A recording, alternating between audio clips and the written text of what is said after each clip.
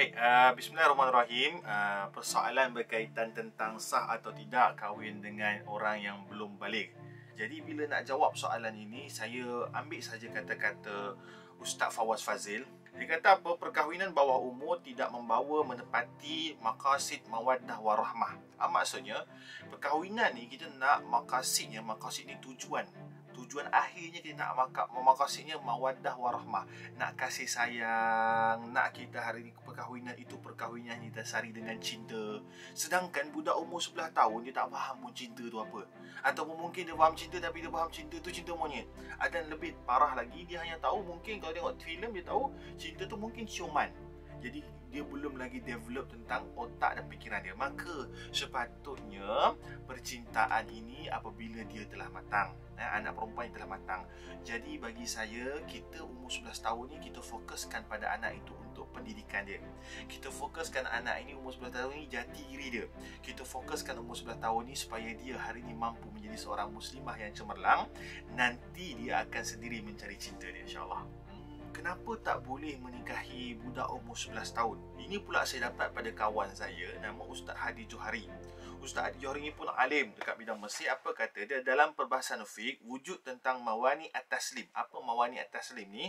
Perkara-perkara yang menegah dari serahkan anak kepada suami dalam sesuatu pernikahan. Maksudnya, kalau saya ada anak, anak perempuan saya, ada orang minta untuk nikahkan anak perempuan dia, anak perempuan saya dengan dia. Jadi ada perkara-perkara yang saya perlu consider, yang perlu saya pertimbangkan sebelum saya bagi kepada anak saya kepada lelaki itu. Apa antaranya dalam kitab Mughni Muhtaj, apa kata dalam kitab itu? Bahawasanya jika seseorang suami menuntut diserahkan isteri yang masih kecil, tetapi berjanji tidak akan menyetuhinya, menyetubuhinya, maka tidak boleh diserahkan sekalipun dia orang yang fiqah yang boleh dipercayai. Maksudnya apa? Dalam kitab Mukhni Muhtaj kata apa? Uh, kalau kita ada seorang anak, anak kita ni kecil, tiba-tiba orang tu minta. Contoh anak dia tu uh, yang minta tu piu, piu ni. ataupun imam muda ni, contoh kan, ataupun ustaz lah. Uh, walaupun bukan semua ustaz jahat, tak. Tapi walaupun orang itu dipercayai, orang itu orang yang yang kita rasa terkenal dengan kebaikan dia, tapi bila dia minta anak kecil kita jangan bagi walaupun orang itu berjanji berjanji apa jangan risau saya ambil dia sebagai isteri tapi dia tak setubuhi dia sekarang saya setubuhi dia nanti bila dia dah balik jangan sebab apa? Sebab kita melarang ulama melarang sebab takut-takut ada apa. Ha, ni kawan saya memperbahaskan berkaitan dengan sexual grooming. Apa sexual grooming?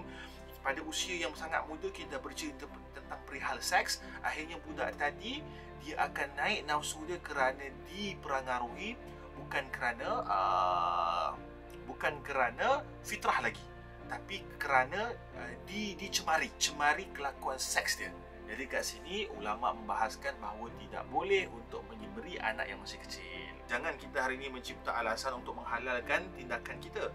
Walaupun memang boleh tapi kita kena faham ada benda yang boleh tapi kita tak buat. Ha, maksudnya kat sini adalah boleh je kita hari ini buat cara lain dan bantu dengan cara lain. Allah Alam